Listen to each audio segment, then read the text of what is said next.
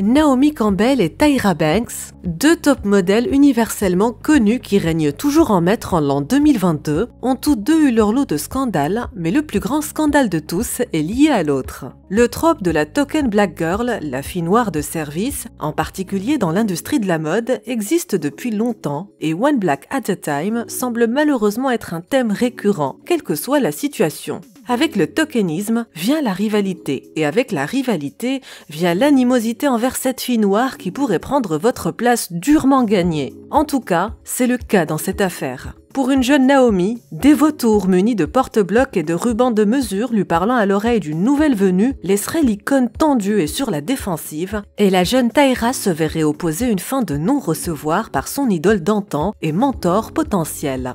Salut à tous et bienvenue sur la chaîne qui dévoile la face cachée des célébrités. Aujourd'hui, nous parlerons de la rivalité entre Tyra Banks et Naomi Campbell. Alors, si t'es nouveau sur la chaîne, n'oublie pas de t'abonner et d'activer la cloche de notification pour ne manquer aucune de nos prochaines vidéos. Les allégations selon lesquelles Naomi aurait fait bannir Tyra des défilés de mode, l'aurait traité de tous les noms, l'aurait fait renvoyer de sa propre agence et aurait carrément dit à l'animatrice de America's Next Top Model « Tu ne seras jamais moi » ne sont que quelques exemples de l'hostilité de Naomi envers sa collègue mannequin. Avec de plus en plus de candidates de top modèles qui parlent de leurs expériences dans l'émission, on ne peut s'empêcher de se demander si Tyra n'est pas aussi innocente qu'elle le prétend. Au fil des ans, Tyra s'est exprimée sur de nombreuses plateformes, donnant des détails sur Naomi et les années qu'elle a passées à l'éviter et même au début de leur carrière. À la manière de la bonne vieille Tyra, elle a invité Naomi dans son talk show, The Tyra Banks Show, en 2005, où les deux femmes ont prétendument mis un terme à leur conflit qui durait depuis des décennies. Mais en 2020, Naomi a peut-être ravivé les flammes en publiant un article qui considérait Tyra comme la vraie méchante. Même si l'industrie du mannequinat est un secteur très concurrentiel, on peut comprendre la trahison qu'un mannequin en herbe peut ressentir lorsqu'une personne qui l'idolâtre ne veut absolument pas avoir affaire à lui. Alors, que s'est-il passé exactement entre ces deux-là et pourquoi ce thé périmé est remis sur le tapis?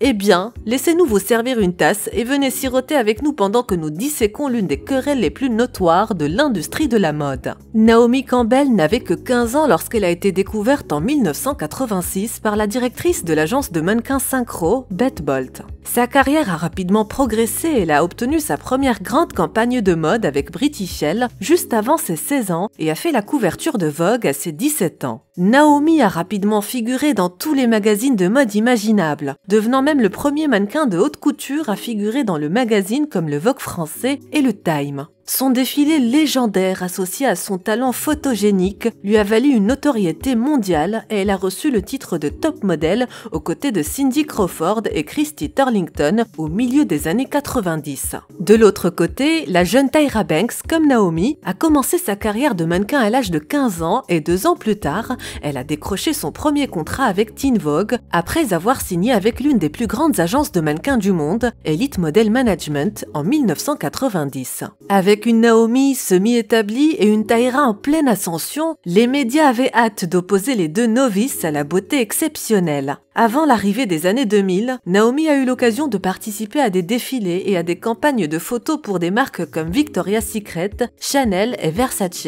Tous les yeux étaient rivés sur elle, et seule une poignée d'entre eux voyait la Jamaïcaine londonienne au niveau des yeux, métaphoriquement et littéralement. Jusqu'à ce que Tyra commence à gravir les échelons de la haute couture en décrochant des contrats similaires chez Dolce Gabbana, Victoria's Secret, elle et bien d'autres. Dans un secteur saturé par la norme de beauté idéale, entre guillemets, il était presque aussi rare de voir un mannequin de la même couleur que les enfants de Michael Jackson, mais avec ses traits de mannequin et sa personnalité unique, la reine non écrite, un mannequin noir à la fois allait poursuivre sa malédiction générationnelle et les médias ont rapidement commencé à désigner Tyra comme la prochaine Naomi. Alors que l'on parlait d'une nouvelle hit girl susceptible de prendre sa place, Naomi n'a pas pris cela à la légère et a fait tout ce qui était en son pouvoir pour s'assurer de rester sur le trône de la haute couture par tous les moyens nécessaires. Naomi et Tyra ont eu l'occasion de se rencontrer face à face lorsqu'elles ont été choisies pour être photographiées aux côtés de leur collègue Beverly Peel pour un numéro de Vogue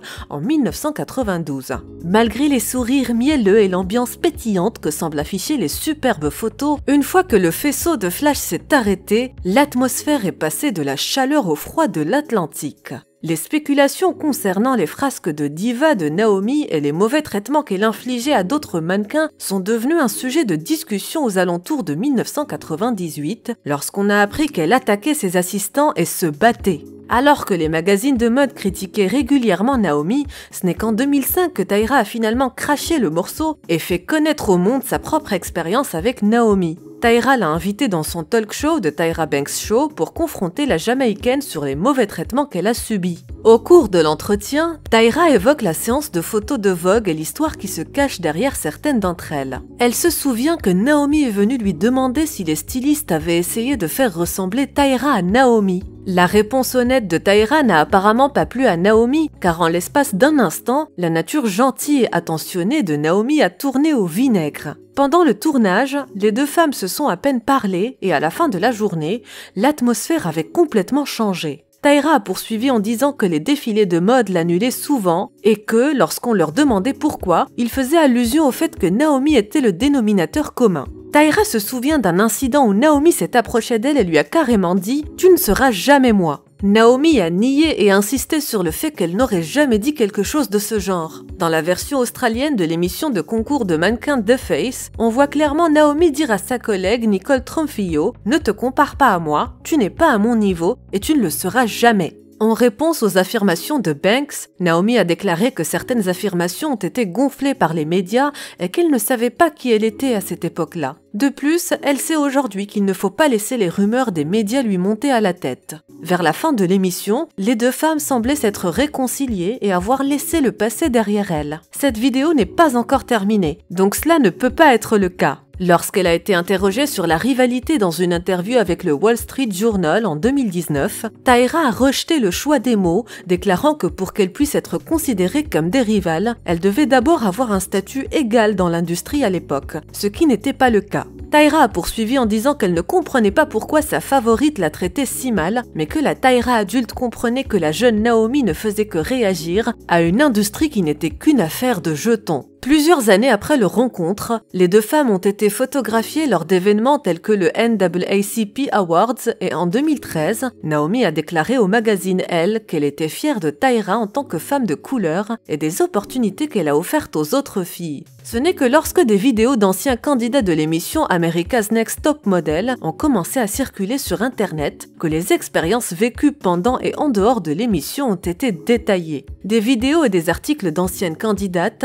Tiffany, alias En t'encourageait toutes, Richardson, Lisa D'Amato, Angelia Preston, Gina Turner et bien d'autres ont fait surface et ont refait surface des années plus tard, révélant les coulisses de l'émission. Interviewée par BuzzFeed News, Tiffany a déclaré en entrant dans l'émission qu'elle respectait Tyra comme un dieu, mais qu'une fois dans l'émission, l'ambiance avait radicalement changé. Elle avait l'impression que Tyra ne se souciait d'aucune des filles de la maison, mais après l'un des moments les plus mémorables de l'histoire des NTM, elle dit que Tyra et sa mère sont allées à son hôtel le lendemain pour arranger les choses. Pour les participantes Lisa, Angelia et Gina, leurs expériences se sont terminées sur une note différente. Lisa affirmant que Tyra a utilisé son traumatisme d'enfance contre elle, Angelia affirmant que Tyra était essentiellement une étrangère lorsque les caméras ont cessé de tourner et que la représentation de Tyra comme le mentor aimant, attentionné et impliqué qu'elle a montré n'était rien d'autre qu'une façade. Les choses se sont vraiment corsées lorsque Gina Turner, finaliste du cycle 24, a publié une vidéo en deux parties dans laquelle elle raconte aux téléspectateurs ce qui s'est passé après que les juges l'ont interrogée sur son passé de Playboy. Gina dit que les producteurs ainsi que Tyra et son équipe étaient au courant de son passé, mais qu'après avoir révélé qu'elle avait effectivement fait du Playboy, Tyra l'a regardée et lui a dit « Je n'aime pas ça, on dirait une putain de prostituée ». Gina poursuit en disant que les producteurs l'apostrophaient régulièrement et qu'elle a ensuite envoyé un message à Tyra après la fin de la saison pour lui faire savoir ce qui se passait dans les coulisses de la production. Lorsqu'elle est retournée vérifier ses messages, Gina dit avoir remarqué que Tyra avait laissé son message sur vue et a continué à dire que Tyra prêche pour l'émancipation des femmes mais ne pratique pas ce qu'elle prêche. Au fil des années, d'autres personnes se sont manifestées et ont partagé leurs expériences avec Tyra et les utilisateurs des médias sociaux n'ont pu s'empêcher de remarquer le comportement problématique affiché dans l'émission.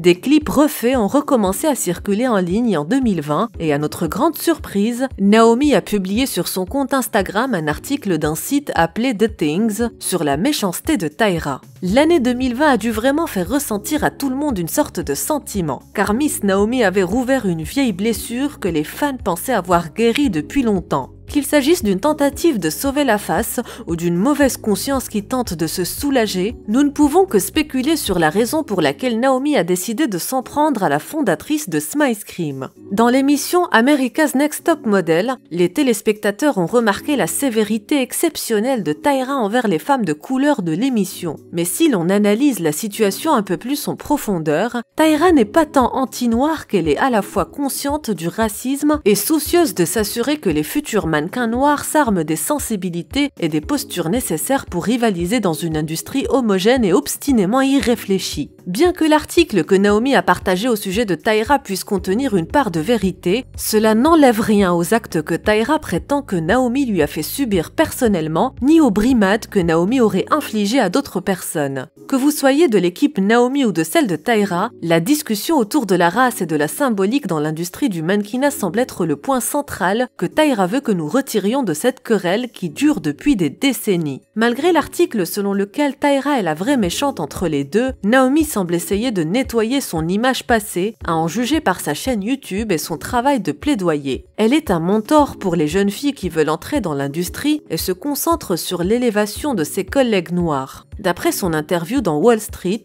Tyra se concentre sur la création d'une richesse générationnelle et d'un héritage. Il faut s'attendre à ce que les jeunes Tyra et Naomi réagissent à une industrie féroce qui vous oppose à la prochaine meilleure chose potentielle et à ce qu'elle soit soumise à la lutte des minorités de l'industrie. Le symbolisme qui a suscité la jalousie et l'hostilité de ces deux icônes est toujours d'actualité. Même en 2022, les créateurs et les marques faisant souvent référence à l'utilisation de mannequins issus de minorités ethniques lors des saisons esthétiques. La racine du problème est bien plus profonde que ce que nous pouvons voir, et au lieu de monter deux mannequins noirs l'une contre l'autre, nous devons concentrer notre attention sur l'approche pump and dump de l'industrie en matière de casting de mannequins noirs, afin que d'autres talents inspirants n'aient pas à faire face aux mêmes défis raciaux évitables que les reines des podiums et de la télé-réalité ont dû endurer. En fin de compte, Tyra est une icône éternelle et Naomi est l'un des mannequins les plus légendaires de notre époque. Nous sommes ravis de voir ces deux femmes gagner et nous espérons que la méchanceté sera abandonnée une fois pour toutes.